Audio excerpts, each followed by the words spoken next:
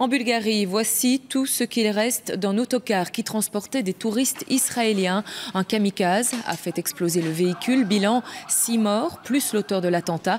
Il a frappé peu après l'atterrissage des touristes sur l'aéroport de Bourgas. Pour Israël, tout accuse l'Iran.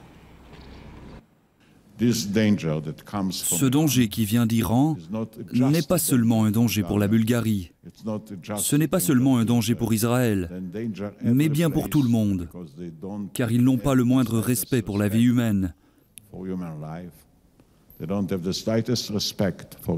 Aucun respect pour les innocents.